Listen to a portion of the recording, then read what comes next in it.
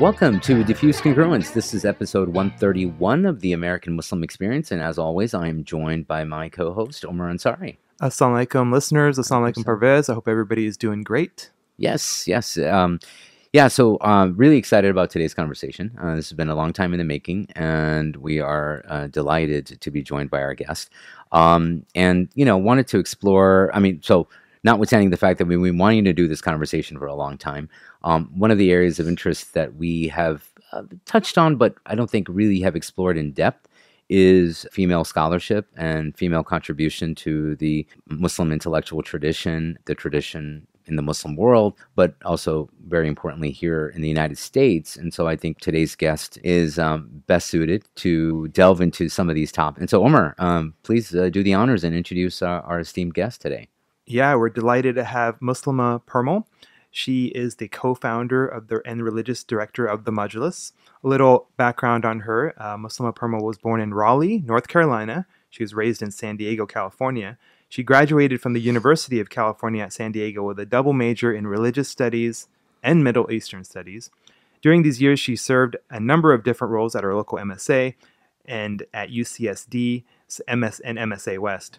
Uh, after graduating, she left to study in Egypt, where she spent the better part of the next seven years. She completed the bachelor's program in Sharia from Al Azhar University in Cairo and also completed almost two years of graduate work at the American University in Cairo in Islamic Studies. She also attended the International Union of Muslim Scholars Future Scholars Program while she was studying in Cairo.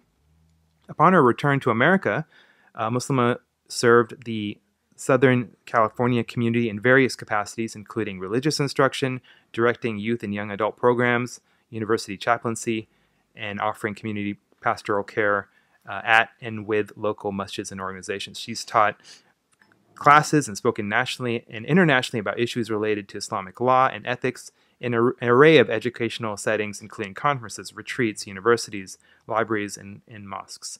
Currently, she serves as religious director at the Majlis, a community organization she and her husband Jamal Diwan co founded together, seeking to nurture safe community spaces where people can learn and live Islam based on the traditional sources of understanding the faith, while acknowledging the particular challenges of the American context. She is the mother of two and resides with her family in Southern California. Welcome. Assalamu alaikum. Thank you. Honored to be here. Alhamdulillah and we're really glad to have you and, and yeah. learn a little about your background and your story and how you got to um, where you are today. So, I, I, and before we do that, I just want to also kind of set the setting here. We're actually recording um, at uh, the South Bay Islamic Association uh, here in the Bay Area because we're not in Southern California, but we are actually, uh, Muslema is visiting us from so- Southern California. So we're kind of playing makeshift host here, even though this isn't really, you know, this is just one of the messages that we have in the area. Uh, shout out to Athar Siddiqui for helping setting all of this up for us. So thank you, uh, thank you, Athar. Um, and um, yeah, and, and, you're here because there's an ISNA conf- conference going on um, here in, uh, I guess, ISNA West mm-hmm. conference going on. So uh, anyway, thank you for taking time out of your busy schedule while you're visiting here, traveling for another event, uh, and also taking time to do this interview. So thank you so much.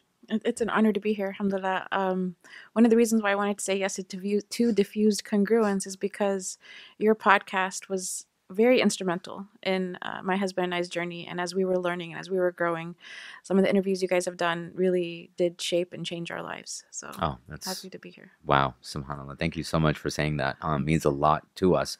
Um, so yeah, I guess uh, you know, as we often do, then as a listener, you can, um, you know, uh, we like to pick up on people's origin story. Mm-hmm. Um, so yeah, tell us about your background. Um, I guess being born and raised in northern, I'm sorry, North Carolina, what that was like. And and, and it's yeah. funny because Parvez and I were uh, several months ago when yeah, we were talking right. about and, and planning to have you on.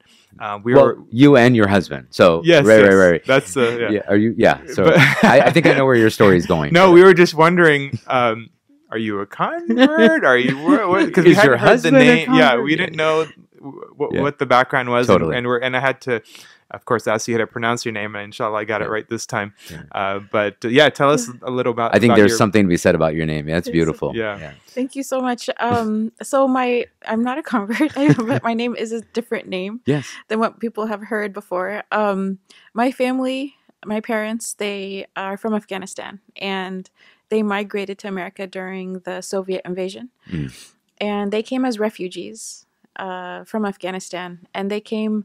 Uh, in a difficult situation, um, as many Afghans did during that time. The Afghan diaspora has started with the Soviet invasion, and as we saw recently, it didn't end there. There's still there's always a continuous wave of Afghans uh, leaving Afghanistan, which is really tragic.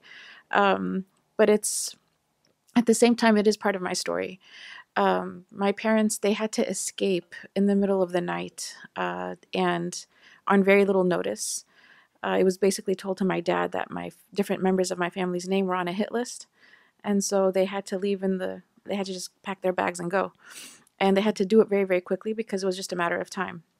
Was And- there was there a reason why they their name might have been on some list? Um, anyone who had any kind of prominence. So, like, my dad had just come back from getting his master's degree in, in America. He, I mean, even though he was from Afghanistan, he's one of the few people who actually got a scholarship to study in America, get his master's degree, and go back. Oh. And he had um, a high position. It was something in, I, I think, in finance. In the um, and then my uh, grandfather, uh, my mother's father, Allah yarhamu, he was a general in the army.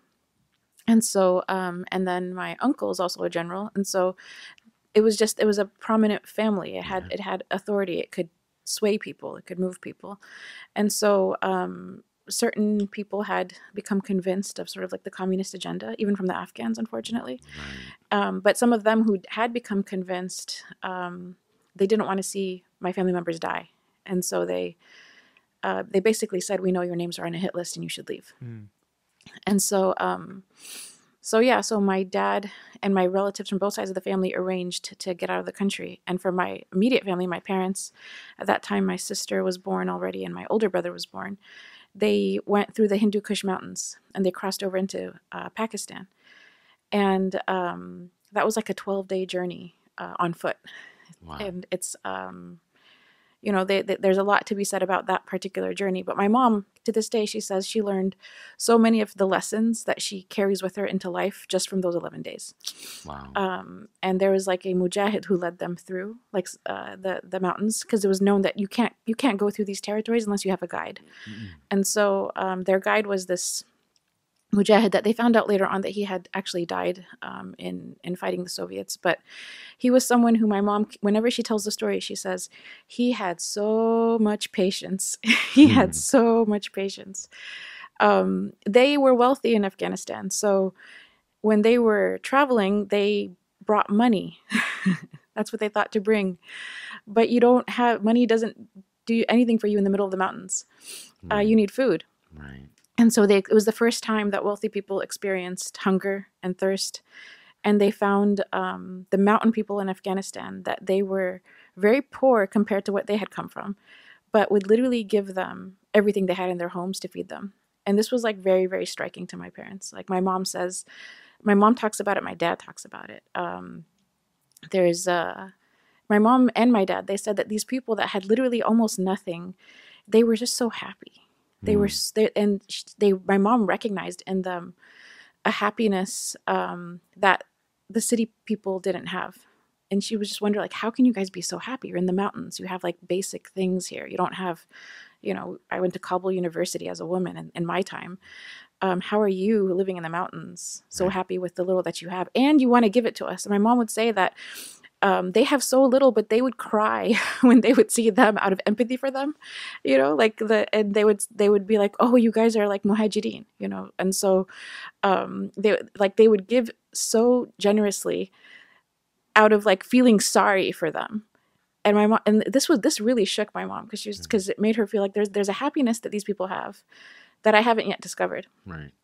With all of the wealth and whatever background I have, that you know these people have something else.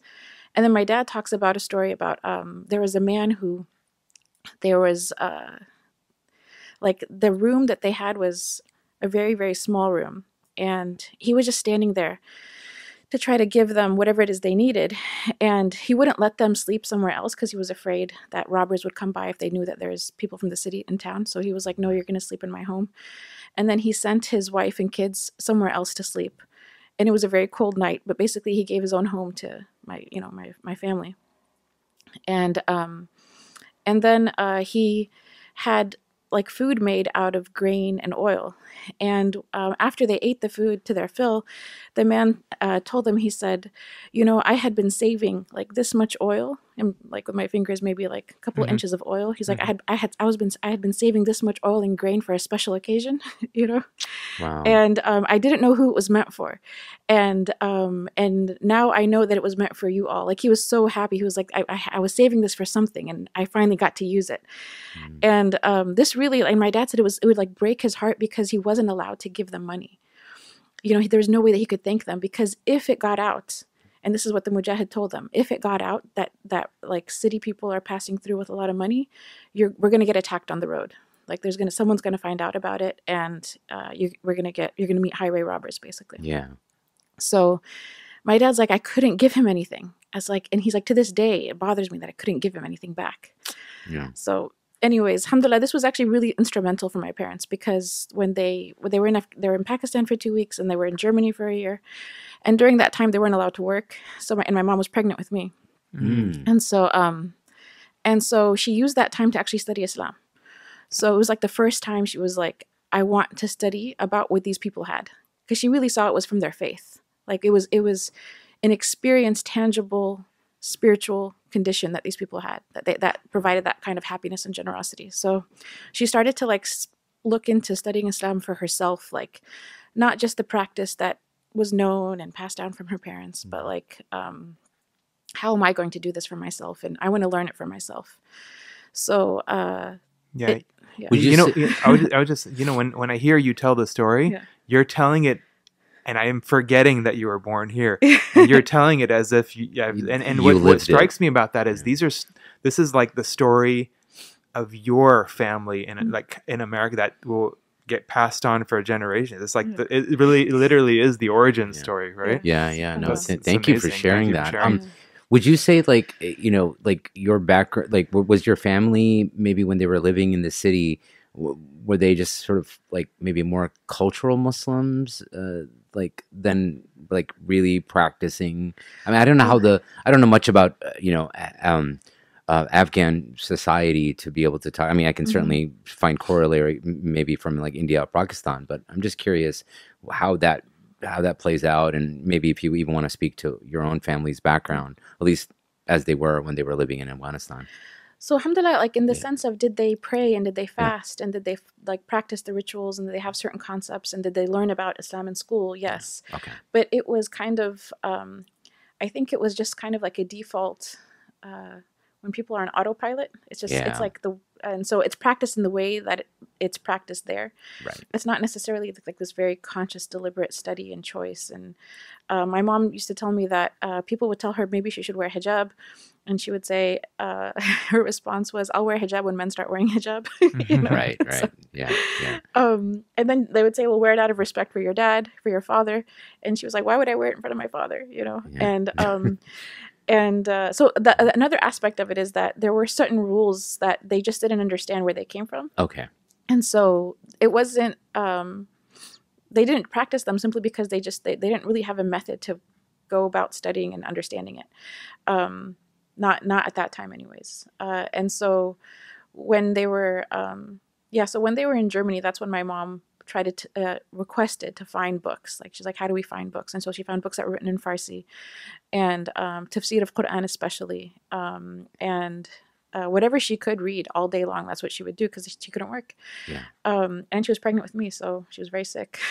Was you know, like you mentioned autopilot. Um, I'm sorry, like I, Yeah. yeah. I didn't mean to make light of um or have you like that's a terrible transition from when you were talking about your mom being sick, but I, I just couldn't help but reflect on, you know, oftentimes we use this word like or this expression of being culturally Muslim as almost a pejorative. yeah But I think you know when we think of society, traditional societies, especially in the Muslim world, or you know the the diaspora, even beyond just the quote unquote Muslim world, um, is that you know Islam is just it, it's so it- it's second nature. It's just you know you live it, and so there isn't like you said a conscious maybe effort to practice your faith um, because it's just ubiquitous in society or the culture is such that you can just be a Muslim. I'm sure you experienced that even in Mhm. Cairo, yes uh, you know, Yeah. where people are just, you know, they live their lives. but Islam is so, uh, you know, it, it's so subsumed within their cultural practice that, Mm-hmm.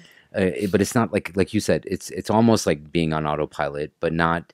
Uh, but not in a negative way. not in a Yeah. negative way, right? Yeah, like generosity is a norm. There you go. Hospitality is a norm. That's what I'm saying. Um, That, that's a really good, Yeah. uh, different it is way to look at it. And and when you put it like that, I kind of yearn for the days Oh. when we're all on autopilot, Right, right? Where we don't have to. It, it's not a. Yeah. It's just more natural for all Yeah, the yeah, Muslims to yeah. be able to easily practice, and Yeah. it should, Yeah. so That's right. Maybe And- inshallah will no, you know, and in to- a and- and positive they, and way, they, right? And they really did have that. Like I can tell from my parents' stories, um, from my from both sides of the family, that they really did have um, an appreciation for like different aspects of the religion that were that were just a regular part of life. Mhm. You know, so um, uh, you know, experienced. But in terms of maybe, I want to say maybe from like just being able to study it formally, they didn't Right. necessarily have that no, yeah. um, but just like it but i mean i want to say that some ideas when it's not studied formally it's possible for other ideas to become understood as part of religion when Right. it's actually not part of religion hmm so that's why it would be- they would create some confusion Yeah. like Mhm. this idea of wear a scarf in front of your father right that was out of um, respect. out yeah. of respect yeah. Right, right, right. and so that would then confuse other concepts like the purpose of hijab in the first place That's right. so um Or so- from a even from a Shari perspective, it doesn't make sense because you wouldn't cover in front of your father. yes exactly normally, so yeah, I, I, that that's a really interesting point. Yeah, yeah, Um, and and but but I think that there's this. Uh, yeah, I agree with you that sometimes when we say autopilot, we Yeah. mean we we mean it in a negative sense. like as if you're not being mindful, yeah, or you know, Yeah. it's just mindless, and that's not the case. It's just I want to say some things came to them because it was so widely practiced. It's like I want to say it came to them very easily. Like it's a very natural and easy part of their religion because you're raised in it from from day one. and Oh, that's yeah. that's what I was saying in terms of yearning for the day when Yeah. we're Yeah. on. Yeah. Like now, you have to. You kind of have to. Not all things are easy in No, terms of practicing Islam. it's right, a real America. conscious attempt and you know like and to quote someone in your neck of the woods you know dr jackson talks a lot about this this idea of like a siege mentality where Mhm. muslims living as minorities and cer- specifically here in the united states there is that kind of heightened siege mentality where you're constantly you know beleaguered and you're constantly having to struggle to assert your identity to find your identity etc whereas you go back home you know whatever home looks like uh, whether it's Afghanistan or India or Pakistan or the you know the like the so-called Muslim world, uh, those things are just natural. Mhm. Yeah, that's that's something that is really I, I think like you know my wife and I just the other day we were talking about we are contemplating a trip to Umrah inshallah and Egypt um, and you know one of the things we've talked about or one of the things we were talking about for our kids' sake is they've never first of all they've never gone abroad so this this would be a first Oh, and mashallah. secondly, it would be in abroad. It would be Umrah, and it would be like you know experiencing you know Egyptian society, Cairo, etc. And we were just talking about just them picturing them just walking around a mar- like a souk, a marketplace, Mhm. where everybody's Muslim. You're just sort of it feels so natural, is the way my wife Mhm. described it, just from her own experiences um, visiting back home and visiting the Middle East, etc. Uh, and we were just talking about how that would be such a cultural shock for our kids Mhm. uh, who've been born and raised in America. Hmm. And so that's, I think, kind of what we're talking about here, where it's always like you have to wear this like protective garment here in the United States, you know, in terms of your Islam. Whereas you go back home and it's so maybe natural is the better Mhm. way to talk about and it. Mhm. just simple Then autopilot. accommodations that are Yeah. just a natural part of society. Like you hear the adhan, There you go. the mall has a musalla there's a women's section there's a wudu area there's a you Yeah. know there's all these different accommodations for just muslim life that's just there in society because everyone's doing it together Right. you don't even have to think about it That's um, right. you don't think about where am i going to pray no you can go out and there's always going to be a place to pray so um Exactly. so it's it's and then also values wise like really uh, ideas of anyone should be able to knock on your door and just come right in in terms of have, being able to host guests at, at, at a, you know at a moment's notice they definitely were raised with that culture That's right. um, in terms of generosity and and and the guest was like a really big deal uh, and is a really big deal in Afghan culture. So, um, but it's also part of the religion. But it's you know it's expressed in different ways. Um, yeah. The other thing I wanted to ask you, just to, and I, I mean, you know, and inshallah, we want to get to the United States uh, for your family's sake, but um, is is you know when people, especially those who are mis- maybe don't know about or aren't as informed about um, a- Afghan society, um, we always hear about or we always picture kind of a very tribal or Mhm. like tribe is important and it's a very tribal sort of culture. Would you say that's true? So there are tribes and there are languages that Yeah. I mean, like uh, there's Pashto and there's Dari and um, there's just uh, different ethnicities within the greater Afghan, you know, uh, ethnicity, if I can use that term. Yeah. Um, there's the Pashtun, there's the Tajik, there's the Hazara, and um, there were definitely intertribal, um, you could say, like uh, discontent, but there were Mm. also intertribal marriages and Okay. families and things. So both of them existed uh, simultaneously. Right. Um, at the time that my parents were there before, uh, I think the society was a lot less fractured. Okay. Uh, so I think it got worse post uh, war than it was before in terms of the way they talk about uh, peop- people married from all over. Like, um, and it was, I mean, there's this idea of the mountain people. You're not city men cannot marry from, or city people cannot marry from the mountain people because the mountain people will die when they come into the city. Literally, their lungs can't handle the air, and so they, the the brides get sick, and within a few months they pass away. Hmm. And That's s- not that's not just like myth. no, no, that, would happen. My real. like, and all. By the way, most of these things, like, there's a folk, there's a there's a general thing of don't do this, and you're like, why? And they're like, well, uh, once upon a time, this actually happened, and I know, and like from how you deal with children to like marriage, all these things all are rooted in like real stories that Got it. real people that they can cite for you right. can tell you the story of when this happened to someone. Mm, But um, but there's internally there's different even within city context itself. There's different provinces and different provinces have subcultures, uh, but they intermarry. Like Mm. my my relatives are all intermarried with people from other subcultures um, within Afghanistan, and it's uh, they might be and and a single tribe can cover more than one sort of mm, sub Okay. province. So the Pashtun, for example, can come from many different cities, Right. many different parts of Afghanistan. Now, a lot. I know a lot of the languages are, are sort of derived from Farsi, but but but but is Farsi sort of like high literary language? You know, in in uh, you know Afghan culture, Well, it was the state religion, and so everyone knew it. And it state was, language. The sta- sorry, the state. Yeah, Yeah, it was no, the no. state religion. It was the state language. Okay. Um, so it was the language that everyone knew. Right. Um, and whereas like Pashto, the Pashtun knew, but people who were not Pashtun did not necessarily know it and couldn't speak it. and couldn't speak it. But So- the Pashtun knew, would know Farsi. Usually. That's right. So Yeah. Farsi then becomes the sort of lingua franca, if you will, or whatever word you want to use, where everybody could could sort of converse and Mhm. speak. Mhm. Um, and whereas because the tr- the local languages and dialects were so different. Mhm. Okay.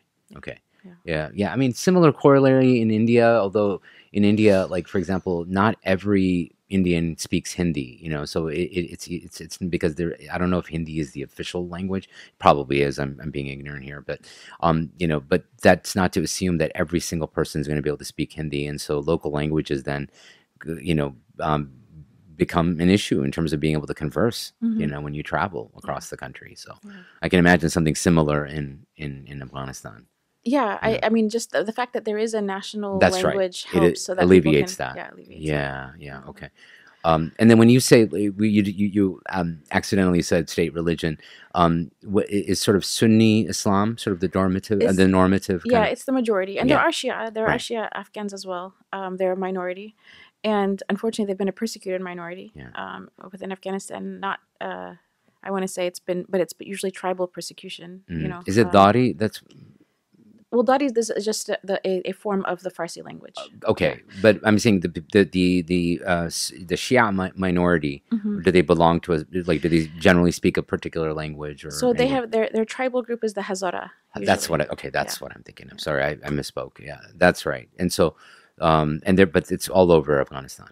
Like they're found all over. It's not just a I particular think they're area. yeah, they're, uh, but I, but I imagine they're in. Um, there's probably areas where there there are more of them than Okay. other areas, but Yeah. uh, but yeah, I'm not I'm not like a really I'm not much of a specialist because in Afghanistan because I was born here. Yeah. But um, but these are just things I've heard Yeah. and learned from you Yeah. know my family. Well, let's let's talk now about your your experience in the in the U.S. and growing up. Right. Um, So they finally make it after Germany. They Yeah. they come straight to the United States. Yes, And do they settle in North Carolina? they settled in North Carolina. Is that where your father went to school? What no, was my North father Carolina? went to school in Pennsylvania, uh huh. but uh, North Carolina was supposed to be a stopping grounds on the way to California. Really? and then Okay. uh, they ended up just stopping instead of a stopping ground. California because maybe some relatives or what have you here. I, I think everyone had heard that California was the place to go in America, and also I think um, Well, you know think like the if you look at California, how much of California is Afghan, right? Like you have Fremont I to was just about to say. Yeah. yeah. so people knew that it was the largest, arguably. like Afghans are uh, coming Yeah. here. Af- Afghans are settling. and, here. and you're talking about mid mid early mid 80s right now. Well, uh, so I'm going to date myself. I was just about to say, however gingerly you want to approach that, because you will date yourself. Yeah. That, that was my ginger ginger appro- way to ask. I it, just want to say early 80s. There you okay, there you go.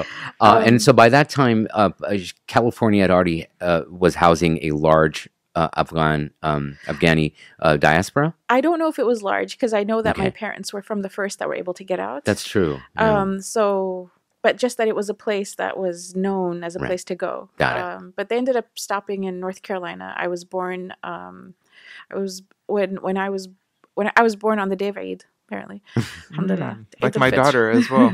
yeah, my daughter right. was born on Eid al second daughter. It's yeah. Eid al Fitr. Oh, we have the same birthday. birthday. Yeah. um, and then my mom chose the name Muslema because I think it was a reflection of her own spiritual journey. Mm. that like she was finally choosing Islam like for her like it's it's not that she had never not chosen it but through the the the journey to America and through studying the religion and um she wanted to like basically not a born again Muslim but kind of like choose it for herself commit to yeah like really in, a- in a very intentional way and so um yeah so it wasn't a name that uh it I think it just reflected something that she was actually herself going through And even your last name. It, I mean, it's obviously your family name, but it Mhm. is kind of unique.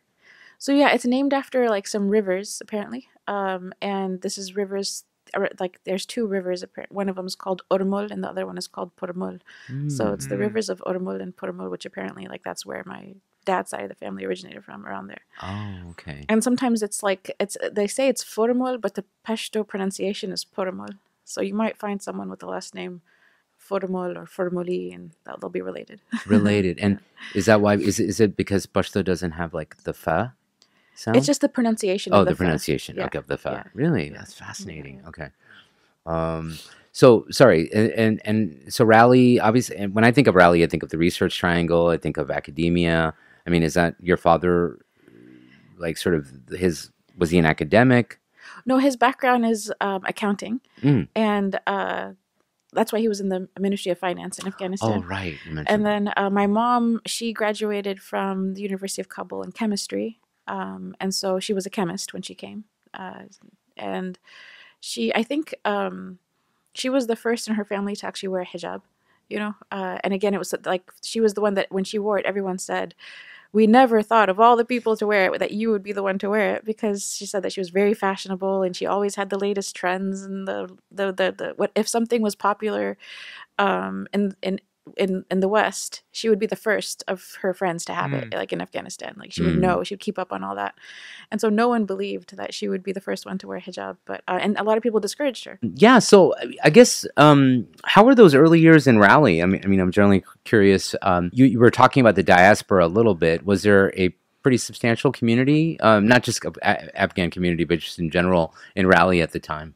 Yeah, so mm, uh, there was the Islamic Association of Raleigh, Okay. And that is actually the same community that the Chapel Hill uh, shooting, the, the, their family came from, Yeah, and so it's um, you know it's an interesting reality because that hit me af- after we moved to California, but um, in Raleigh, it's it was a smaller masjid, and then they built a bigger masjid, and like a gymnasium, and and the old masjid became the school, and I was there before uh, that transition happened. okay. But it was a very diverse community. That was one of the things I loved the most about the masjid growing up as a kid was every single ethnicity and um, youth group leaders and uh, from everywhere. Like, and, and I like new converts, people who have been Muslim their whole lives, but from other contexts, you know, not from like necessarily the Middle East. Yeah. Uh, so it was just, uh, I grew up where the diversity in the masjid was a norm.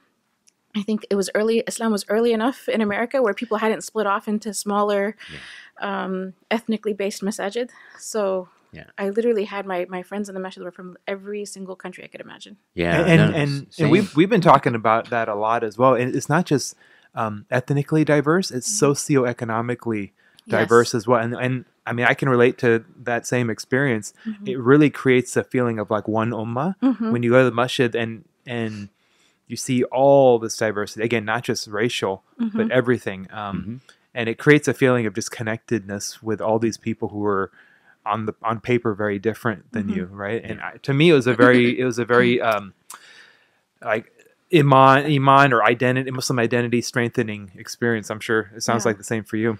Yeah. it was actually from the beautiful uh, experiences at the masjid uh, with with women who came from different backgrounds. There were white American Muslim women, there were African American Muslim women, uh, and they ran a lot of the different programs that were happening for the kids. Uh, there were also women from the Middle East, but the the way that you know just the setup was, it was very it was a very loving environment, and uh, I, I actually wore hijab early as a in my life simply out of the inspiration of being at the mosque around Mm. beautiful women. Like these were these were women who had such beautiful conduct, and uh, you know, like you're around people like that, you want to be like them. You know, so I, I, it didn't have the connotations that we hear about sometimes from sisters who are maybe they associate hijab with harsh treatment or they associate, associate hijab with someone who was mean to them at the mosque. Mhm. Uh, I had the opposite. Like hijab meant uh, people who are really, really kind to me. And uh, my my, I remember there was this lady in the youth group. She uh, she herself came from a lower socioeconomic background, and she was a white Muslim, and she. Uh, it- this was also a time when everything was free sabilillah.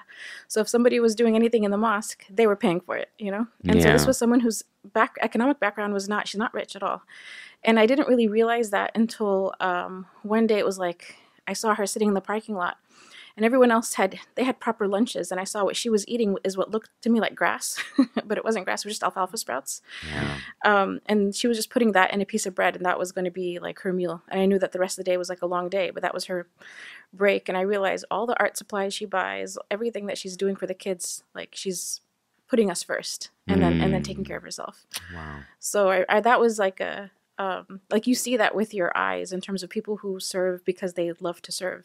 Uh, it's very actually in some ways it's very similar to the man in Afghanistan who gave the food Right. to my family. Yeah. that's right. Yeah. Um, kind of full circle. Um, so you got to experience that. Um, now you were um, how old when you your family moves out west? Then I guess completes the journey, Yeah. as it were, that they began, right? Um, when they came finally got to California uh, when I was uh, 10 years old. We moved Okay. to, we moved to Okay. California when I was 10. uh, and that was again um, when you were staying in Raleigh, at, or I think Raleigh is probably the correct I was pronunciation. gonna I was gonna say Parvez, you're. Uh, I've been saying Raleigh. Raleigh. I know, and and you and you said Raleigh. So, um, uh, was it uh, like like meant to be kind of a pit stop, or you didn't know at the time? It was sort of uncertain, you know, or your as family. A, ki- as a kid growing up, I thought we were going to be in Raleigh forever. That was You home. That was home. that Yeah. was home, So right. moving to California was a big uprooting. I had to leave all my best friends. I had to leave my Right. cousins and aunts and uncles and everyone.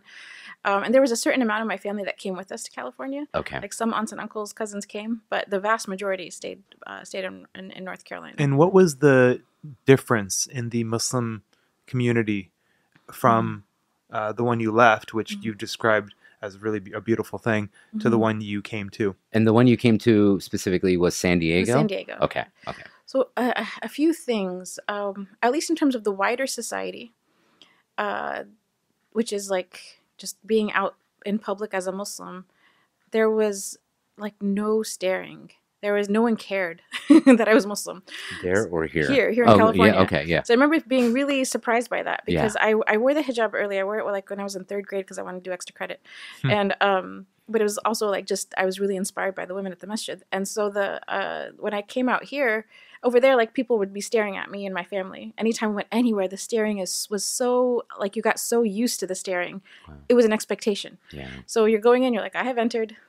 you, may, you may now stare. you know? right. Whoa, North You may Carolina now stop s- your eating at the restaurant and just Yeah. stare at me. Yeah. North may not, Carolina you know. is the South. Yeah, Right. it's Oh, the South. it's It's, the the South. South. Very yeah. much so. Yeah. Yeah. And then coming to California and walking into a grocery store with my family, and no one caring, no one stared, no one looked, no one flinched, and I'm like, "Hello, everyone, I've arrived." and no one cared. Right. I was like, "Wow, it's, it's it was a different kind of invisibility that I appreciated. Like, I, this was like, uh, I'm just here, and uh, it's okay for me to just be here the way I am." Yeah. Uh, so that I really love that about California a lot. I do too, and I hope Yeah. that spirit remains. You know, in spite of I mean, like what's happening out there. I, I mean, mean- exactly. Um, you know, in terms of pol- politics and so on. And I, I don't, I haven't, I mean, obviously just only visited Southern California. It tends to be a little bit more conservative than we're used Yeah. to the here in the Bay, Bay yeah. Area specifically. But uh, it's it's good to hear that that spirit is alive and well, sort of Yeah. all over. You know, so. Um, now you're are you public school? Are you like what's I'm the only in public school at this Okay, time, yeah. yeah. And Yeah. I was, uh, I went to like in terms of the difference between the Muslim community it was kind of like the opposite in the sense that in Raleigh the the masjid was diverse and people were really one it was really one community Yeah. there wasn't small pockets of different communities and in san diego I, I i it felt like islam had been here institutionally longer I was just about to ask. and so it was there Mhm. long enough for people to form ethnic masajid. So he, that's the African American masjid, and this is the Afghan masjid. And Egyptians do their picnics on this day, and Algerians do their Hmm. picnics on that day. Mm, And um, and I ha- I had never experienced that in North Carolina. It was more uh, it was just if there was a community wide event, it was for everyone. Um, and then uh, you know that sort of like seeing those uh, uh, cliques inside the Yeah, masjid right. uh, growing up, witnessing that, and just feeling that that's different. And uh, it was just persistence. We continued to come to the masjid. We continued to try to be a part of everything, and I think it helped to um, break down some of those no, some y- of those uh, boundaries, I should say. You said institutionalized. I mean, was it generally speaking an older, and I don't mean by age, I mean by, you know, there was an older community in San Diego? Because I know like LA and um, um, Orange County had, Yes. had long standing communities. Same thing with San Diego? Same with San Diego. Actually, the very first mosque in California is in San Diego, Really? and it's a nation of it was a Nation of Islam temple Okay. uh, that became uh, a, a masjid under Warith Deen Muhammad's community. Right, So right, that's still there, but it's the, actually the first mosque in California is in San Diego. Wow, I did not know that. and uh, it's actually considered a historical landmark. That Mm. particular masjid, Masjid Taqwa. It's called, okay. Masjid right. Taqwa, Yeah, yeah. yeah, yeah, nice. So I'd love to um, kind of transition to your interest in actual Islamic scholarship, and Yeah. because that you go to UCSD, that's San Diego for you non-Californians, uh, and you study religious studies, Middle Eastern studies. Yeah. Mhm. Was that something that you um, knew you wanted to do from uh, hi- high school age, or how did you kind of s- Mhm. step into that door of scholarship? Mm-hmm. Yeah. So I, I, I, when I was in seventh grade, our English teacher made us write an essay on what we wanted to do when we got older, when we grew, when we grow up. And uh, I thought about it and what I really wanted to do, but I hadn't really seen it uh, formulated in any position or job, was I just wanted to study Islam. Hmm. And when I and like there are no employed positions at this time for Muslim women who've studied Islam that I knew of, anyways, in my age. And so I thought about it and said, you know, I'd, I'd like to be a professor in this in uh, Islamic history. That's what I had actually written because I'm like, that's the, probably the only way I can get formally study Islam and you know have it as a job too. And and even that, there is Mhm. no precedence. Like you didn't. Did you have anybody that you were looking? Yeah, At- good no, Yeah. no, it was just like, how do you have a job where you get to study Islam? Okay. And so that's what I came up with. And then um, later on, when I was in ninth grade, I was in my world history class, and I, w- you know, I saw this video of uh, on on world religions. And in the video, there was a feature on the Muslim world and uh, Egypt in particular, and how the oldest standing universities in Egypt, and they showed the masjid, Masjid al Azhar, and they showed the scholars. And something about that video just really struck me to my core Mm. and I was I, I was only in ninth grade, but I saw the the the scene of the oldest standing university that's still there that's that's been teaching Islam for centuries, and I just prayed. I was like, "Oh Allah, let me go to Azhar one day." so I make that dua, and I kind of forget about it. Like I I Mm. make I remember making it very distinctly because I was I remember being so moved by the video, and that was my first introduction to Al Azhar was world history class ninth grade Wow. and uh, you know 10 years later if you want to fast forward this is after i've gone to college after i've met my husband and married my husband um, you know after we've uh, studied abroad in egypt and learned arabic and after we've uh, gotten the scholarship to go and study in al-azhar we're, we're, we're back in the states right before we're about to go overseas and um, uh, I, my younger brothers are now going to the same high school and they invite me to uh, come and talk to their MSA. So I come onto the campus and I'm walking, and I was like, you know what, let me just go walk past some of my old classrooms. So I just take a different route and I walk past my old world, world, world history classroom.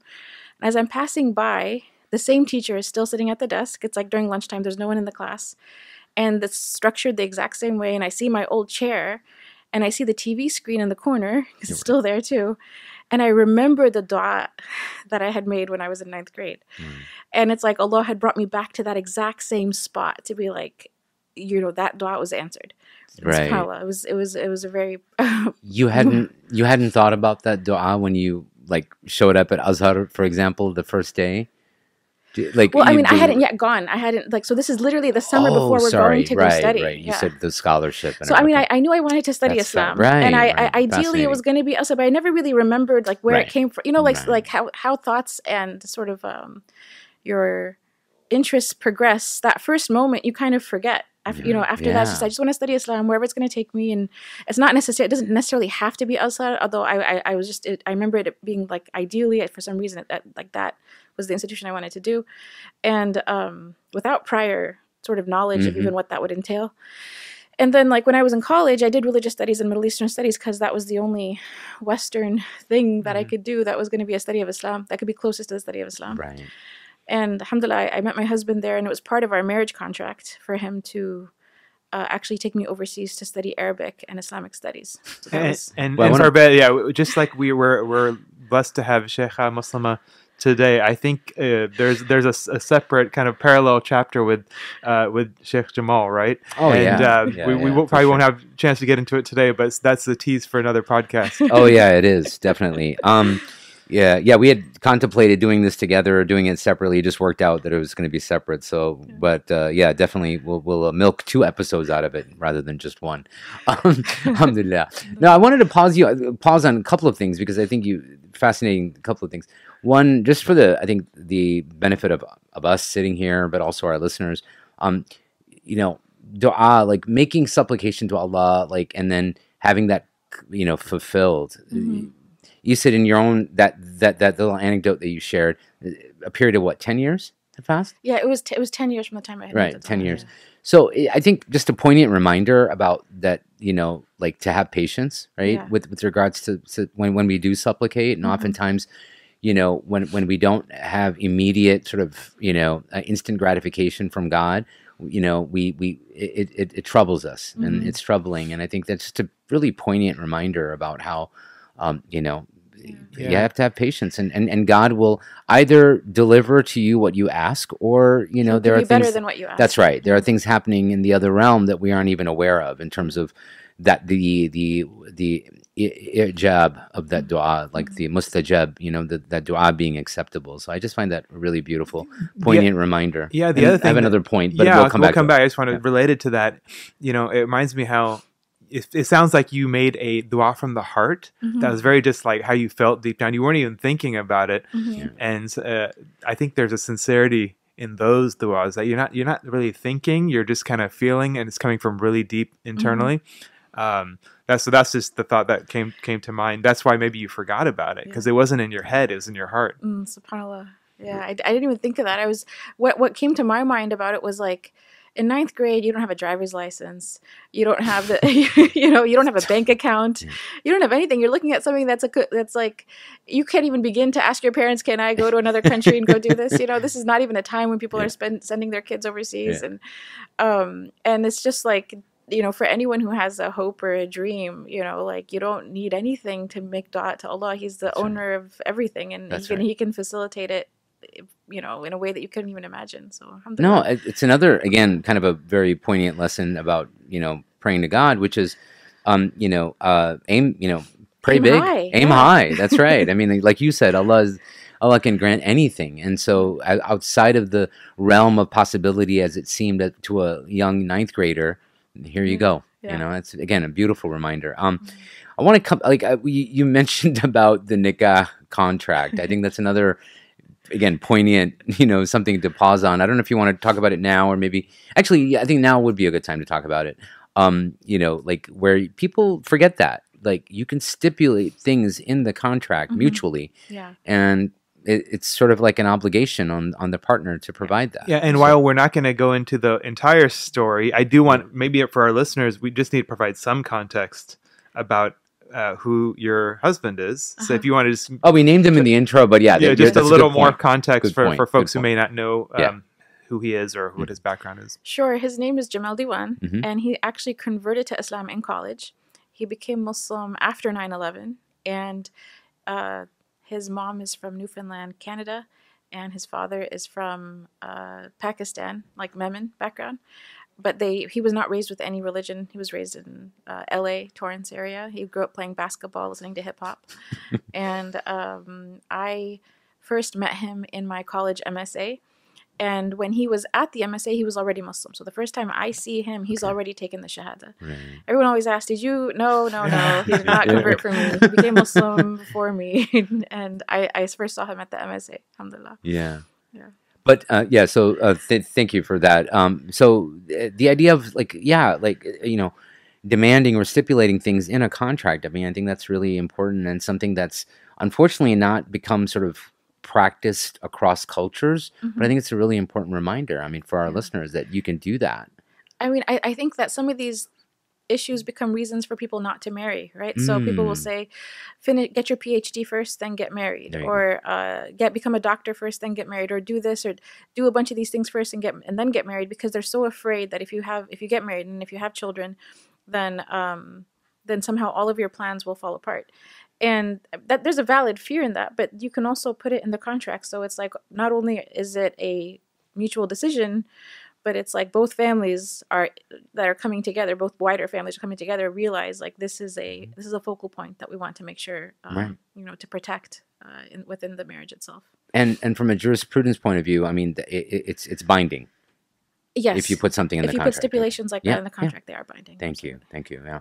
Um, so yeah, so now let's um, yeah, you know, we're talking about shadowy stipulations and binding nature of them. Um, let's get us to yes, he is indentured servitude let's get us to uh, I guess Cairo. So I mean, get you know, so you and and Jamal both are able to get a scholarship to That's go right. and study. yes Uh, was that kind of a make or break kind of thing for you? Like either you were had to get that scholar, scholarship and go, yeah or you know you could have facilitated some other means, you know, to be able to get there. How does that work? Yeah, well, for- we basically we literally sup- and again like the earlier lesson was about dua this one is about just making intention which was go. oh allah if, if if allah opens the door to this good for us to do it then we will take it if Mm, like we want this we don't know how we're going to get it but if allah opens it for us we will walk through that door you know so um so and and seeking to see if there's if there's a way. So after um, while my husband was still doing his uh, undergraduate degree at ucsd uh, my father-in-law made a because he knew that we wanted to learn arabic my father-in-law uh, said to him that if you just add a science major i will fund your study of arabic. You and your wife to go study arabic. But because he really wanted my husband to have something in the sciences in his like something even a minor so my husband is a third world studies major and so he added psychology which which which which was sufficient you know? technically, Techni- yeah, he's in the sciences. suffices. So, yeah. Sufficient for the Pakistani Memoni father-in-law. I love that. That's great. So our first scholarship is actually from my father-in-law. May Allah bless him and put all the reward in his mizan. I mean, And he, um, so they they funded us for to go and do the Diwan Center intensive for nine, ten months actually. And um, but then we came back to the states and we had, didn't know how we're gonna get back to Egypt. So and the fact that you chose the Diwan Center had no, no deeper connection, right? no, no, Yeah, okay, yeah. yeah. Diwan is uh is an Arabic word, but it's Yeah. a um the this was it just happened to be the name of the center that we ended Yeah. up studying at. Mashallah. No, I mean, I just I mean that that again, right? There's there's there's ayat, there's signs because I mean there's so many. Uh, I imagine even when you went, um, you know, I mean, I happened to be at Sibaway, but there was like so many. Al Fajr, I think, had a had a language institute. There was so you know, many. Diwan and Sibwe are kind of like the Bloods and the Crips, right? Really? No, I'm just oh no, that would have been so funny. I totally believed it. Sorry. Yeah. Um, but well, there is an interesting history there. I won't go into it on this podcast, Sure, but fair enough. another day, Fair another enough. time. Wow. Now you've teased something that I'm really interested in. Um, eh, of course, my studies were very, very short compared to yours, but um, nonetheless, uh, the Arabic study was really critical. Um, so, um, so, so inshallah, so alhamdulillah, you get the scholarship. Well, at least you have a patron in your father-in-law at the time, and you're able to go and at least commit to Arabic studies. yes. Um, how long of a of a commitment is that initially, at least? For us, it was uh, the the program at Diwan Center was nine months. We stayed Yeah. for ten, and we did their intensive, and we did some Quran as well, and Mm. like, uh, um, you know, that was that was what we could do at that time. Yeah. Uh, when we came, but there was it was like it was five hours a day minimum in class, and and three to five hours of homework at you know after class. So Yeah. it was when I say intensive, it's in, like we. At some point, I was told my husband, "I'm like, I'm feeling like I'm losing my iman," and he's like, "Why?" I was like, "Cause I'm reading about John and Steve every day. you know, like Right. it's like it's I'm not, I'm not reading like religious books That's yet. right. You know, or just doing the Maha and. Kareem or something. Yeah, yeah, yeah. So I they're at the John and Steve are at the beach, and the different context than today, but you know. yeah, yeah, um, right, right. But still, it was just very like uh technical, That's and right. so I was like, this is.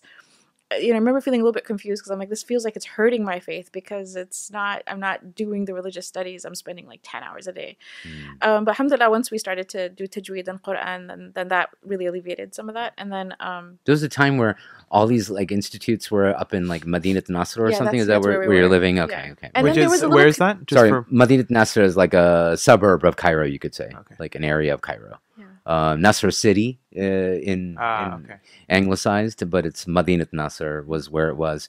I was lucky because uh, at least Sibaway um, allowed for some of the tutors to come to you. mhm. So even though I was all the way in Zamalek, um, again we're Mhm. talking geography of Cairo, but yeah, uh, I, I just I can't help but reminisce. I love I love Cairo. I love my time there. So, um, but yeah, so he would come to me, and it was it, was, it saved a lot of. well, like, Zamalek's a beautiful part of Cairo. it so- really is. So, uh, which is a little jazira, gazira, as they would say. Um, anyway, sorry, a little island. Um, so the um, um, the peninsula, technically, not island. Sorry. Uh, eh, so, so you were there for nine, ten months, and then what was the plan after that? And did you like how far? You said once the tajweed and, and the Quranic, uh, the tilawa like kicked in, like in terms of being able to commit to that. Um, what was the plan then from that point for both of you? So we came back and Or we'll let Jamal tell his story, but like for you, yeah, just your story right now. So, what was your plan? uh, we didn't really have one other than to come back to America and, and work until we figure out a way to go back overseas. So, Got it. um, so like literally, I started subbing at the Islamic school, Mhm. and my husband uh, initially was working at a pizza shop, Muslim pizza shop, until he started working for an insurance company. Uh, yeah, and like uh, what is it called? Um, customer service. Uh, yeah, Yeah. Yeah. Not telemarketer, but customer service. Yes, yeah, customer for- support. Yeah, yeah, customer, customer, support. support. for like an insurance company. Fascinating. Um, and it was just like work. And but how do we get back? yeah. And uh, then at that time, there was this other organization in Michigan called uh, Islamic American University, Oh, yeah. and uh, they wanted to send people overseas to study. And the person who actually told us about it was Sheikh Taha Hassan from at the, the imam at ICSD. So our local imam, he knew how much we wanted to go back. And actually, he told us like even though he didn't want us to go back, he wanted to stay in San Diego and help and volunteer and you know do, be- part of the community building of San Diego. He um, contacted IAU for us, and he told them he, about me and my husband, and we like sent applications, and and then the, Yeah. the person from IAU came in to, to San Diego and interviewed us, and um, basically agreed to give us the scholarship to go study abroad. So alhamdulillah, that was through yeah, Sheikh Taha. So may all of that reward also be in the mizan of Sheikh Taha. I mean, um, and so you're so you're able to go, and um, so I guess tell us. Well, for one, um, what what were your early experience? Like, what were your experiences thus far in Cairo? Because I know, you know, again, I, I can't, you know, speak anecdotally anecdotally of myself, but I remember hearing experiences from other people, certainly female students Yeah. who are abroad, Yeah. that you know it can be a little sketchy sometimes or it can be a little dodgy for for for, for, for young women and of course you're married so your husband is there but could you maybe talk a little bit about that i mean if you're comfortable sharing like in terms of what those experiences are like has it changed has it improved Mhm. is it roughly the same has it gotten worse yeah. So interestingly, like we were there when uh, up until basically the Arab Spring, okay and we left after Morsi was elected. Like that's when our last exams happened, and we finished, and then we came back to America. He was elected. We thought Egypt got free elections. We Mm. ended on a good note. All is well. and that's and that that that event was the um, also timed with the completion of your seven Uh, years, of, of, of our yes, of, with which our, as planned. Yes. Okay. Um, and so Wow. the, so the, but what that means is that we saw the country as it was under the pressure that it was under that led to the Arab Spring in the first place. that's right so, So each year we'd come to America. I mean, we'd, we'd go to Egypt and then in the summertime we'd come back. And then we'd come back from America to, to start the school year again. and we'd feel like it, it's gotten harder on people. Like every, we were like, it's not just because we were in America for a few months. It's like no, where we can feel the pressure increasing in different ways: economic, um, social, definitely political. Uh, and one of the sort of consequences, sometimes I think of that kind of social, economic, political pressure is um, uh, different kinds of crime. Mm. You know, and one of the where that really played out, I think, for unfortunately for a lot of sisters who are studying abroad, is we were there during the height of basically the sexual harassment era in Egypt, if you can call it that. Really? So, um, so sisters that were studying, they were they were told like stay in groups, carry pepper spray, and there was actually incidents, unfortunate incidents that were reported of things happening to sisters when they were trying to walk to class. So don't walk by yourself, um, and different kinds of basically, I mean, there's no other term for it other than sexual harassment. So, Mhm. so on one hand, you have that happening. On the other hand, there was also, I think, a rise of I don't want to call it misogynistic, but just some of the rhetoric that's been, that's being put out in the name of religion. And this is not necessarily not from Al Azhar as an institution, but just from ran like the khut- the, lo- the local neighborhood khutbah, right? Um, there was like a seven part series on the like niqab being mandatory Mm. in Jummah. So seven Jummah khutbahs about this topic Seven Yeah. Jummas in a row. in a row. wow. Yeah. What did they talk about in the night of the That's 27th? persistence from on the part of that speaker. And like, what did they talk about in the night the 27th in the masjid that was closest to where I lived? M- night the 27th of Ramadan. Right. Pakist night in the in the masjid. How the, the hijab actually means niqab. And there was like, you know, these posters in the streets of like incorrect and correct hijab. And there were people saying, oh, the, all the sexual harassment wouldn't happen if people just covered themselves properly. There you go. And so there was like this very palpable um, just mistreatment. Yeah. Uh, I and would then- say, like you said, misogyny. I mean, I think maybe like a kind of paternalism yeah. that that that creeps into society, especially in the name of like, oh, we're this is just to safeguard our, our sisters. Yeah. This is just to protect our sisters. But it's so paternalistic, right? Yeah. And, and I think uh, like a seven part series on, on on proper coverage is is kind of emblematic of that. I mean, it, it was uh, it, like if you if you if you put that together with like maybe when you like the certain some of the classes, for example, that were being offered Mm. would be only offered in the men's side of the musalla of a masjid that women are not allowed to be in, so sisters can't take that class. Hmm. I'm not talking about the university. I'm talking Right, about right. like because all university students they're supposed to do uh talaqi. They're meant to like you know like Oh. go and find people that you learn also separately with, and that's how you really uh, get higher in scholarship. So I'd hear about because I'm in I, I was in the year of Azhar that I was the only girl like from the Americans right. So like Sheikh Ubaidullah Evans was in my year, Sheikh Yasser Fahmi. Um, Sheikh Suhail Mullah, like all of these male, te- like American shuyukh, Yeah. they were we were all in the same sort of year cohort. Do And you I was stay the- in that cohort throughout?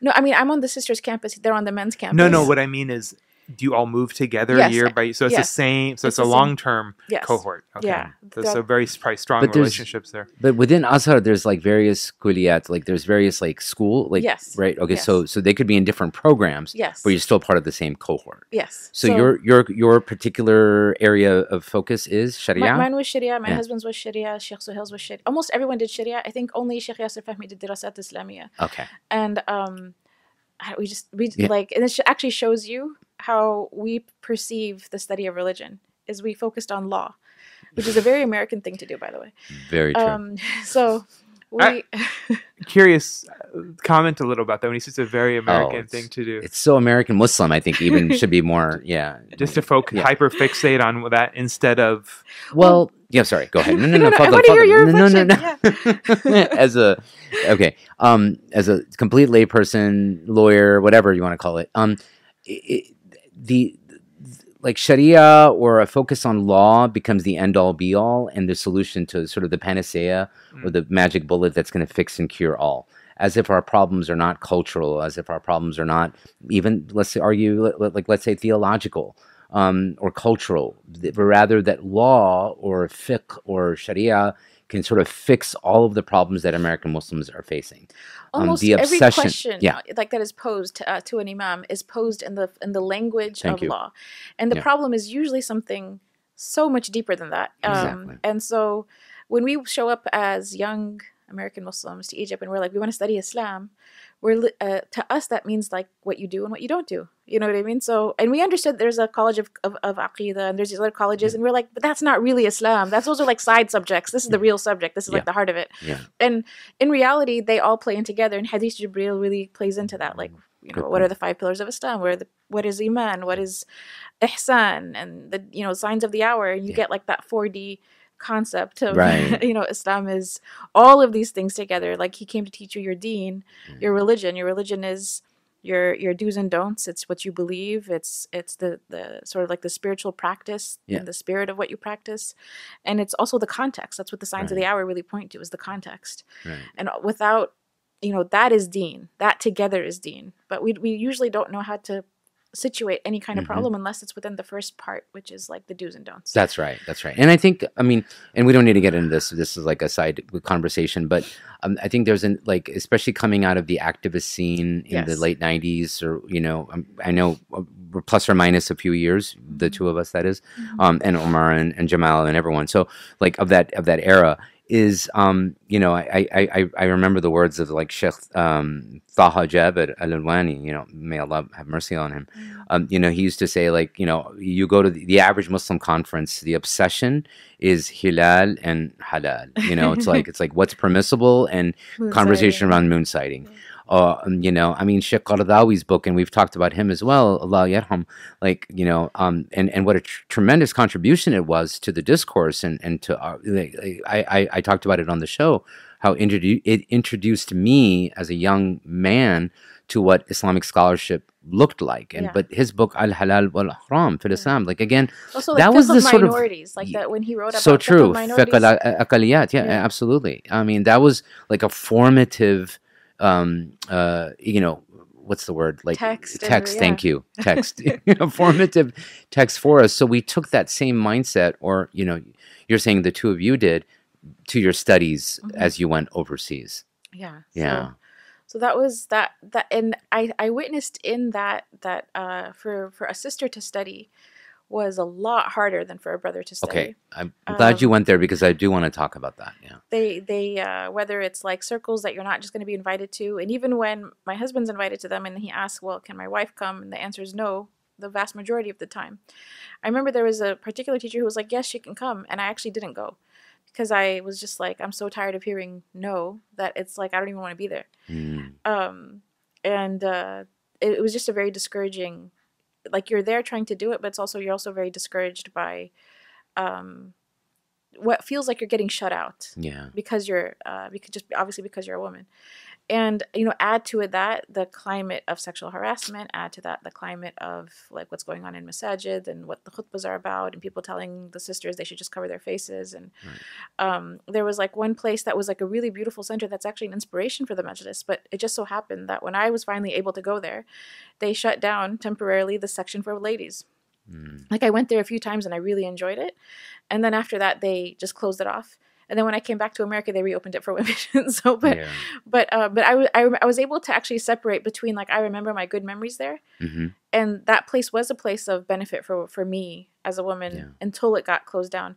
And when they uh and some like husbands and wives actually because they used to go and visit that particular center together, uh, they protested and they said, "Why can't my wife go?" And the person responded, the worker at that time responded, "It's better she she's mu'azzaza mukarrama fi baytiha. Like Right. let her be honored and dignified in her house." So it was a very much like don't participate, Yeah. don't come, don't be part of this. So um, anytime we would we would uh, advocate for something that is a normative right Yeah. for Muslim women, we'd get labeled feminists. Mm, And I, I took great offense to that because uh, I have never associated myself with feminism in any way. I don't belong to the movement. I don't. It, I, I just don't see myself in it. That hasn't been what has inspired me as a woman um, to do what I do. It's not part of my story in, in, in a formal way. So I don't like getting receiving a label because I'm actually just advocating Right. what the Prophet Muhammad Sallallahu that's what I you know came with a long time ago but it's like easy to dismiss what you don't want to do for women with like a label Yeah. you know Right. and i think we do that as a community if someone asks a question about well, what about this they're like oh you're just a sufi what about this oh you're just a Mm, this uh, like right. a label no i don't i don't want it's those labels mean i don't want to answer the question uh, Good point. Good point. point. Um, so, but what? How is it like at Al Azhar formally though for a Uh-huh. female student? the faculty is all female. Uh, there's male and female faculty. Okay. So uh, and So your teachers are both. are both male and Okay, female. both yeah. the male and female. Yeah. Uh, and but your classmates, Classmates are all women. all women. Yeah. And, from all around the world. So I was just about to is- ask. Yeah. That part of it's really beautiful. Okay. So the classmates. Were you the only Westerner in your cohort? I, I was the only American. American. in okay. my in my Yeah, year. Yeah. But uh, but there were definitely there were sisters from France, and there were sisters from there's I remember there's a sister being from England. There were there's a sister from Mexico. There was uh, obviously the uh, huge Malaysian contingency. They have their own like uh, what is it called? Letterman jackets say Al Azhar University. That's how you know the Malaysians because they made jackets that say Al Azhar University on them. That's so Um, and then yeah, from all over. Yeah. And uh, there's some sisters from I want to say Kazakhstan or I think maybe Tajikistan. It's interesting because we share a language in common, like Farsi, so we we could actually Yeah. communicate outside of Arabic. right. Um, but uh, the, it was the first time I met someone named Muslima. That was not me. Oh, wow. yeah. And she was from Tajikistan. I was like, that's interesting. Our moms had a similar, you know. But, yeah. uh, but that was actually the the experience with the sisters Was- was, a beautiful experience. Oh, Mhm. and there's Libyan sisters, other Arab countries as well, and uh, they they uh, many times were all living together. So in in uh, you know bigger apartments that housed a lot of sisters together. So sometimes when it would be time for exams or finals, we'd go to to one home and like study together, and um, with international female students, and uh, just it was it was a really nice time. I mean, the actual studying was a, was I enjoyed. Alhamdulillah. Now I know, like for example, the the, the male faculty and graduates of Al Azhar, they have a particular dress code. That, Yes. that, that, that that's that, that's like you know not a uniform, but it's like an honor Yes. honorific dress code that the sheikh or the teacher is this similar for the female uh, no teachers? and so i actually asked right before i left there was like a women's conference Right. at, at on the women's campus and i asked like the women's dean like i know the shuyukh they get this traditional clothing and it's and it and it it, it really dates back to uh, many centuries you know like they, they this all has historical significance for sure. um what about the women like can we can we like come up with something that is for the sisters as like a mark of the fact that we've also gone through the same educational process and um remember the lady she just looks at me and she goes alhamdulillah allah honored us with hijab 1400 years ago. And i was just like that is not the answer to my question but that's okay. But um so there's a lot of that by the way that happens is some, there's this and i and i understand for an egyptian to receive that question from an american is like why are you coming here trying to impose something Uh. on me Yeah. and and um, or sort of like find a shortcoming in something that is really author- like authoritative in the muslim world but you want to Yeah. inject it with something from your uh, paradigm uh, but i was like well the malaysian students are wearing jackets you know that have letterman jackets with like a, They had they, they got creative Yeah. about it. Um, now, as far as you know, um, from its very inception, uh, Al Al Azhar has always allowed and and, ha- and ha- has had a space and a track for female students.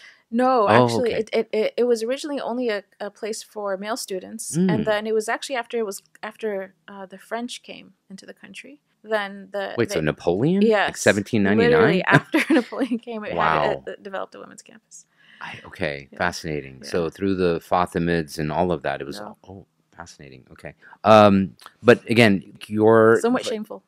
Well, We have to admit it. It is somewhat thank shameful. You. I was going to let you go there, but yeah. Um, but in terms of the text and, and the curriculum, it's, it's the same. Meaning, in terms of Yeah, what, what your actual- male yes. students are. Yeah, it's the same subjects. Yeah. Um, the texts are the classical texts are going to be the same texts. There's Mm. some there's books that are like a lot of the professors write the books uh, that are sort of contextualized for the student, and so for example, if you're doing Hanafi fiqh, you're going to do the Hidayah, Mm. Um, but like maybe the teacher is going to do as a sort of a commentary on something within that. They're, they're going to write their own text. Oh, and so uh, the professors will sometimes do that. And um, one thing i did notice again i could do this because my husband was in the men's college and i was in the women's college we were both in hanafi fiqh is i would compare our exams.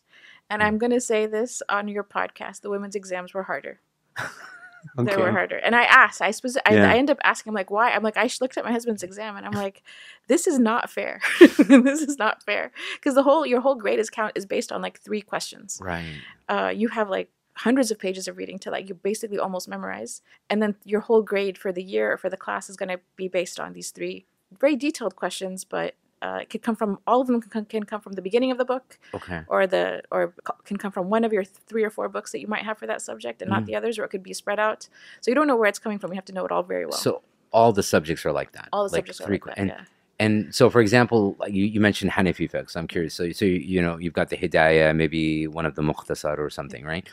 Um, then is the exam like a like a law school pattern? I'm just curious. Like, is it like facts and then how you would apply Sharia to the facts? Or I'm just you it's, mentioned it's, it's it's it's at this point in undergrad it's copy and paste they're not giving you anything new they're only it's, Um. it's can you bring this back from the text can you recall it can you do it verbatim oh, So rote memorization was the way to go. memorization is but except for islamic economics the teacher said i will only grade you on understanding and i think that was important because some of the students didn't have a bank account they didn't know what a credit card was like they're coming from different economic and so you know Yeah. backgrounds so that was actually a very hard exam for anyone that was not an american and anyone who was an american did really well Mm. uh, in islamic economics because we knew all the terms and we just understood what was being discussed for a lot of the students they didn't know what was happening So, um, and, and you're able to uh, choose a particular madhab of Mm. focus. yes Is that required? Yes. Okay. So so the you study fiqh muqarin, which is like the comparative fiqh, Mhm. but then you also specialize in one school. So as you're doing comparative fiqh, you are also taking in more detail the usul of your particular madhab, as well as your particular madhab. Um, but The- that's in the- tandem with taking those same subjects in a comparative manner, which Is- is, really hard. By the way, this you you do this, but if you were to ask me today, do I remember? No, I don't remember. That was too much. Like I remembered it enough for the exam, and then I would die. Mm. So Is what I the is the selection of the madhab does it correlate to like real world demographics? Like are all the the the Indo Indo Pakistanis? Well, like, yeah, is the. Hanafi school like the most populated? yeah, exactly. Yeah. And, and and and are like all the Desis No, no. picking the Hanafi and so on and Oh, so yeah. forth, right? actually, yeah. I, w- I would say the Shafi'i school was more populated than the Hanafi Okay. school because of that just local. Maybe because of local because of local the local population, and uh, Yeah. people are not going to like that I say this, but I think the Shafi'i madhab is a little bit easier to learn. so it's, the Hanafis are the madhab of the hypotheticals and what Yes. if this happens and what if that happens, and they come up with all sorts of things, and so it's not Yeah. it's a little bit more you know involved. I'm not trying to paint all you know the Shafi'i madhab in any kind of negative brush, No, but no. it's just Mm. I, I studied also the Shafi'i madhab at some level with Uh-huh. someone, and I was just like, this is a lot more simple than my Hanafi book. I could really nerd out, but we should probably Yeah, yeah. yeah, I- yeah. So I, I- we should have said this at the outset. So we're we're, we're recording on this crazy t- schedule and, t- and time crunch. So um, this is meant to be kind of a truncated uh, highlights uh, episode. Inshallah, we'll have um, you know um, Sheikha Muslema back on to you know give us some more you know detailed uh, episode later. But I guess we'll start moving the conversation. Yeah, I mean, I, I think where we want to because I could literally spend Yeah. probably an hour talking to you about your Hanafi curriculum, Like, or, or just- or the Azhar experiences in general, right? Sure, sure. I, But- just, I just meant on a personal Yeah. geek level. So Sorry. we want to obviously get to the majlis. The question I had before that is: Mhm. you come back as a proper scholar, mashallah, but there's no. It's not like there's a million jobs in America waiting for people who have graduated from. So I'm curious, just what that experience is to graduate with like a proper scholarship. Like it's a legitimate. Uh, it's Yeah. like it's not like going graduating with an engineering degree from Stanford and then you know you know all these tech companies are giving you offers left and right. So what Mhm. is that? What is that experience? You know, it's um, it's interesting because you say you graduate, you come back a quote unquote proper scholar. When I when we were in Egypt, we this was not lost on us that an undergraduate degree from Al Azhar is the beginning of your studies. Yeah.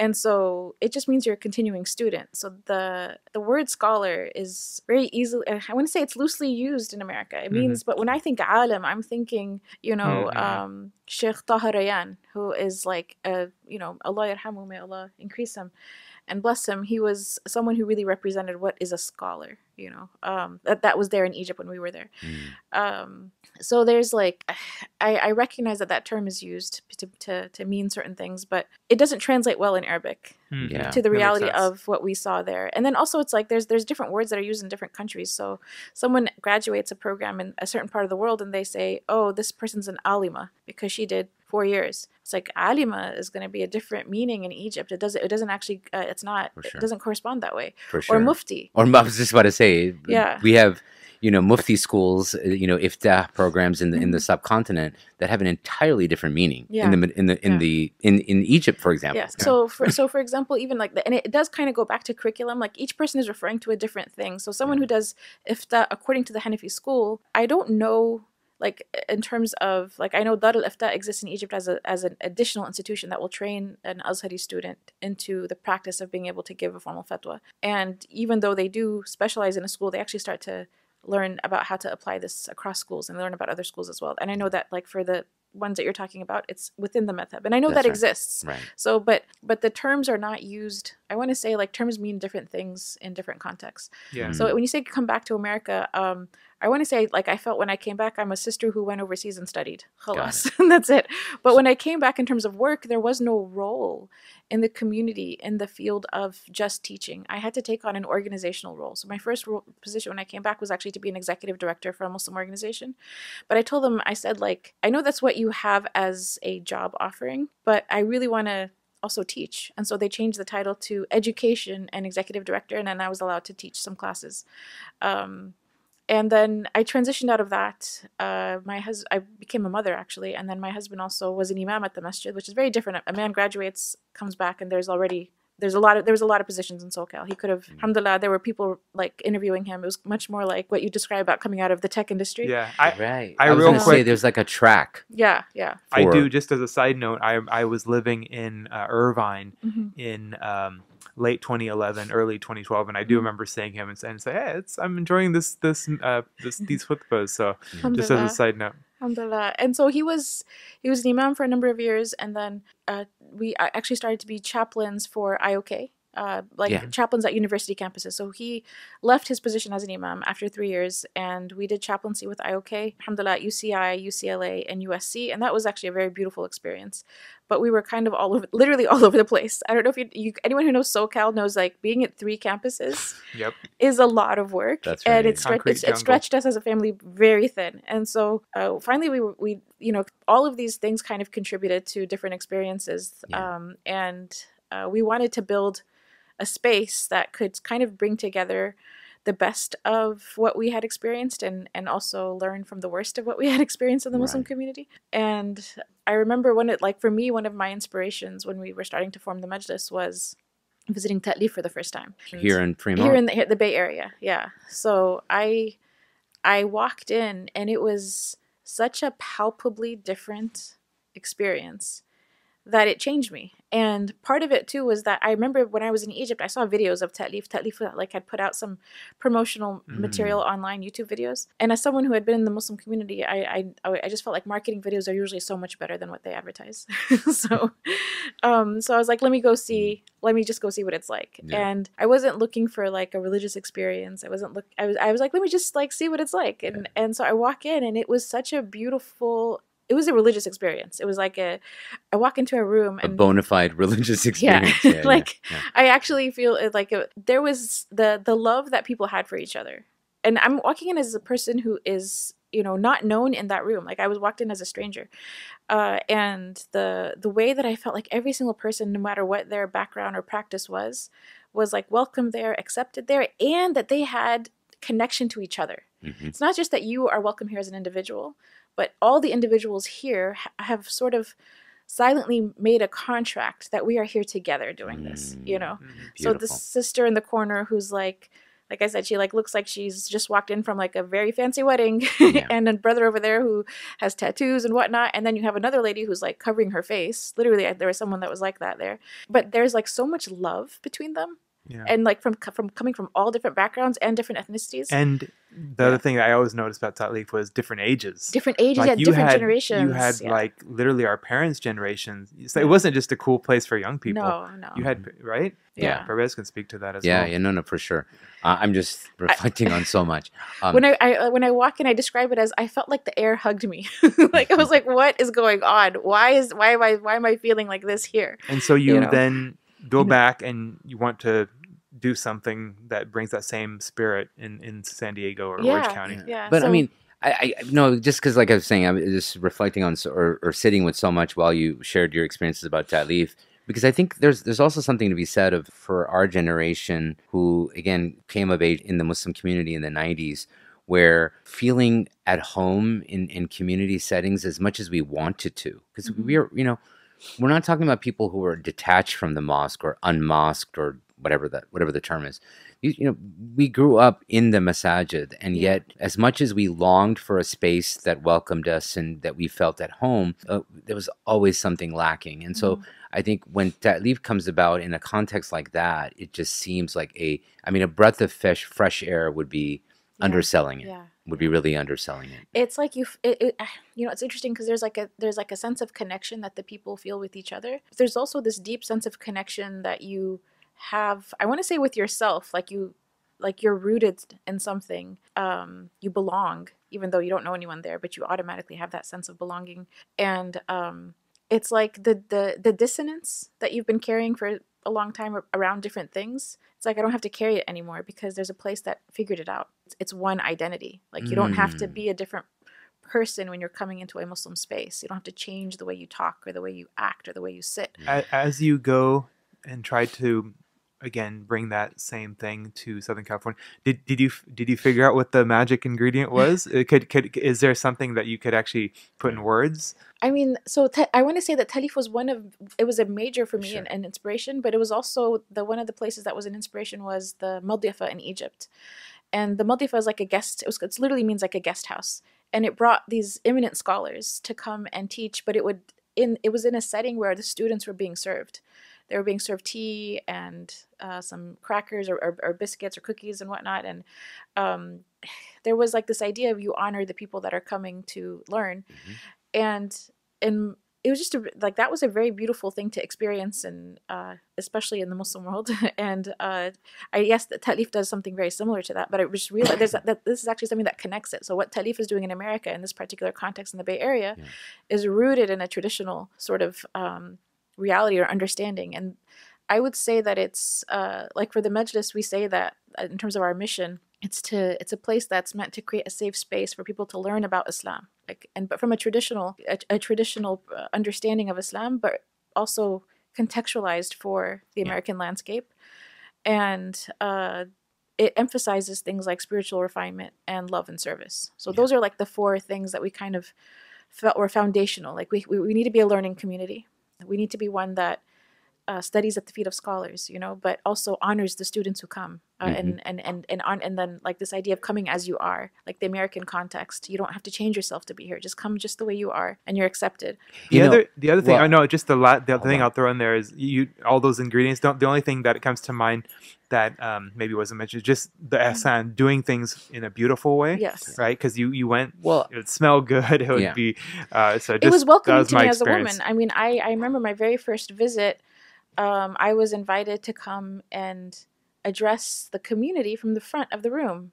For, for me just just visiting you know like i and i kept saying no i'm just here to visit i just want to sit here and benefit and they were like no no no you've studied overseas and Hmm. you should come and uh, like please just give us some nasiha and make dua and i had i, I want to say that that was also just a realization that not everyone believes that women shouldn't be teaching them and not Mhm. everyone in the muslim community has a misogynistic outlook or not everyone doesn't want women to be in a place of education there's some people who actually Yeah. will elevate you and elevate your voice because they really value that background No, the only thing I wanted to add is, I mean, we'd be remiss if we didn't mention because I know, I mean, as far as like trajectory goes, Ta'leef comes from Zaytuna Institute, Mhm. Zaytuna Institute of the late '90s, early 2000s, and only one of the three of us sitting in this room, and that's I'm looking at Omar right now, um, had the pleasure of attending Zaytuna Institute. Mhm. This is before the college, so I wanted you just to opine on having seen both spaces, kind of talking about what you know Sheikh Muslim was talking about, like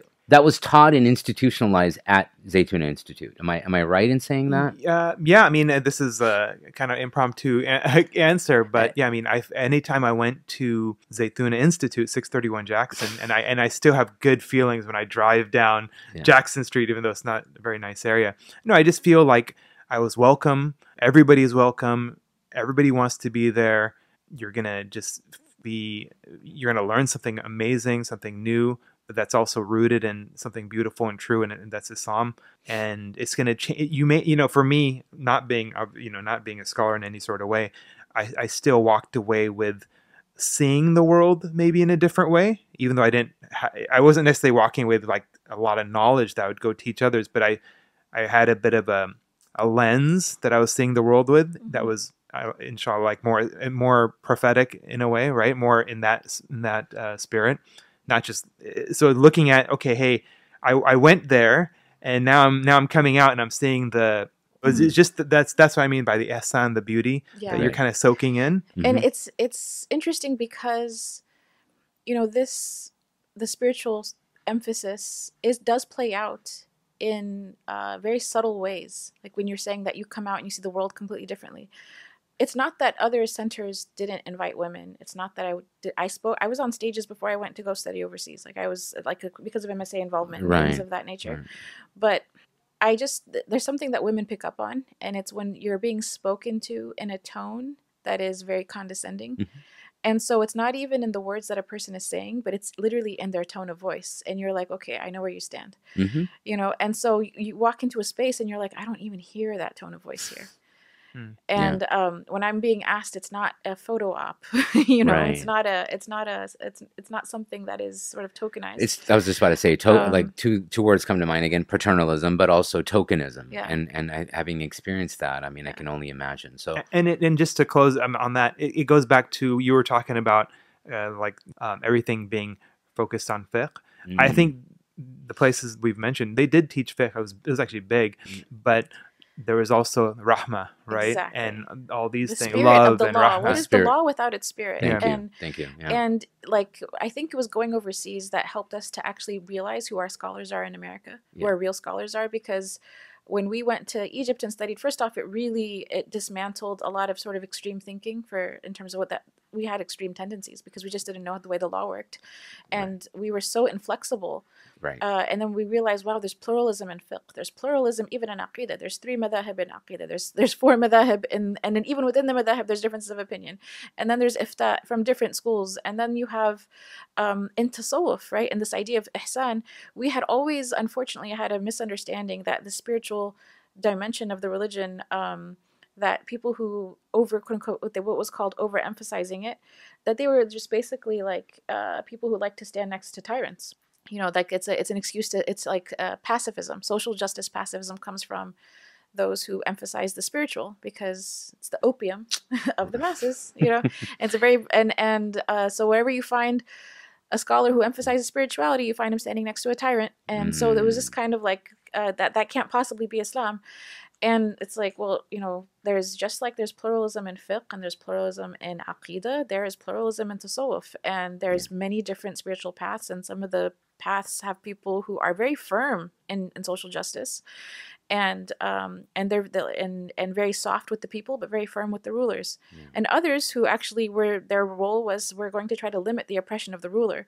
So um, it was to protect the people in that way, and it was, it's not a popular place for anyone to be. And you can say that's not my position, but it's not the only position. And there's a, it was kind of painted that way in America that this is the only way that a person can be uh, you know spiritual. And it's no, we have there's many paths, and there it's rooted in our tradition. To not have a spiritual path is actually a modern 20th 20th century thing like if that was a that was another part of the sort of discovering the tradition which was how did we not know all of this was part of like the tradition that has existed for over a thousand years hundreds and hundreds and hundreds of years this has been being practiced every whether it's bukhari or imam Mhm. nawawi or you know all the scholars that everyone wants to quote for other in other contexts for their outward knowledge they were also scholars of inward knowledge Yeah.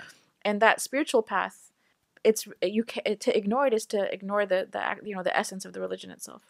There's a lot can be said about that but i think there's like i mean if i could offer like a thesis as i've contemplated the exact very issue that you have or that, that, you bring up which is that i think what happened in the muslim community in the united states was you had a melting pot of people coming from different backgrounds different nationalities certainly different cultural practices and so on.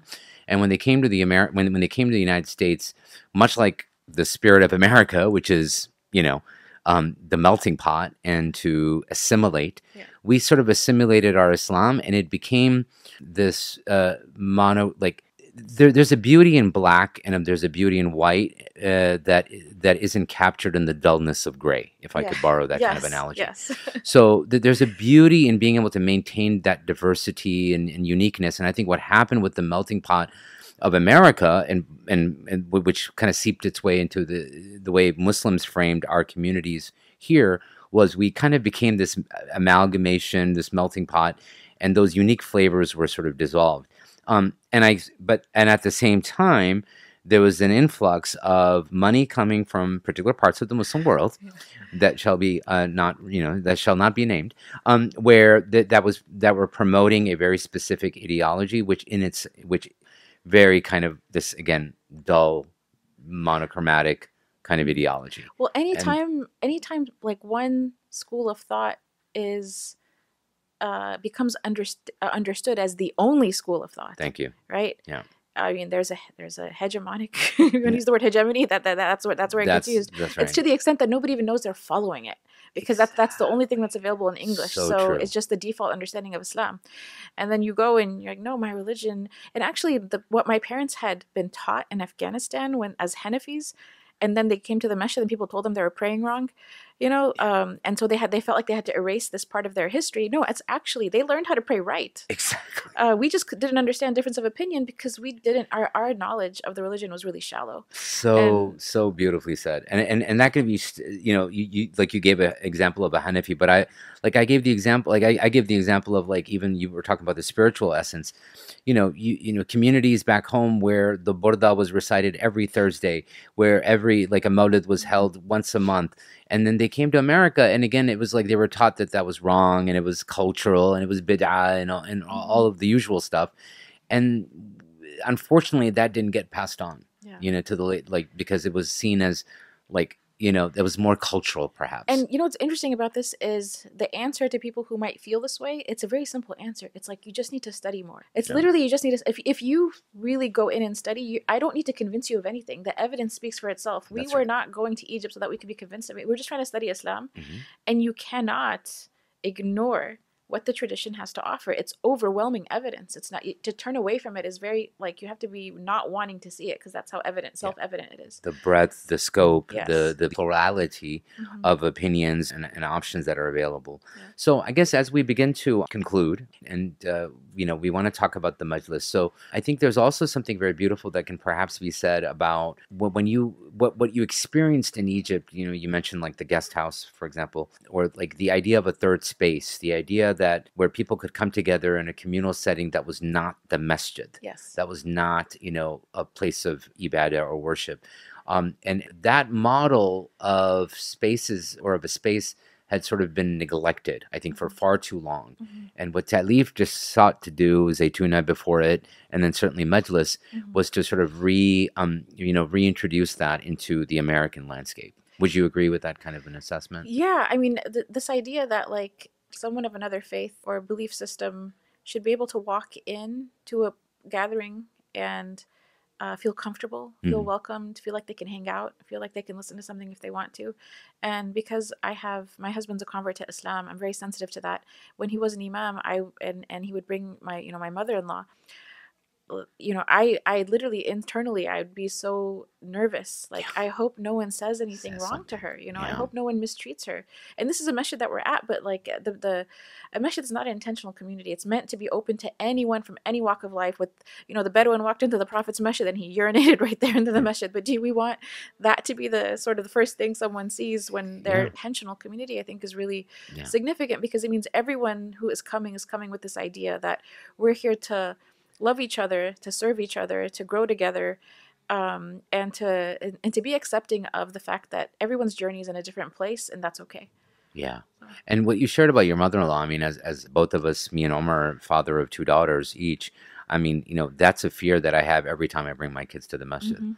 God, I hope someone doesn't say something or comment on their clothing or, We're, You know, we're like- constantly Parvez and I as as um, again fathers of daughters who are close to each other and cousins as Mhm. well. Um, we we we're constantly having that question like, is this event going to be have a positive or a yeah, negative? yeah, exactly. But just as we wrap up on time, is there anything you want to share about what's happening with the Majlis right now, the Yeah. work happening today and, and going forward just you want to uh, share with our yeah, yeah. Where can people find out more about the Majlis? And again, listeners, I mean, you know, inshallah, we'll have Sheikh Al Muslema back on. Uh, inshallah, we'll come to you this time and, and we'll and we'll sit again.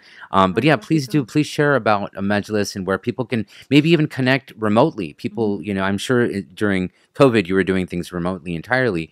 But is there stuff that where people can find you online and, and connect, Yes. even if they're in Raleigh? Yeah, absolutely. absolutely. Full circle. I like Full that. circle. There you go. So the pandemic made it so that the Majlis had to go but become virtual, and then when we came back in person, it re- remained both in person and virtual. Okay. And so now, alhamdulillah, all the things that we were doing before the pandemic, like on site, and we didn't have recordings of them, they are now everything we do has a recording.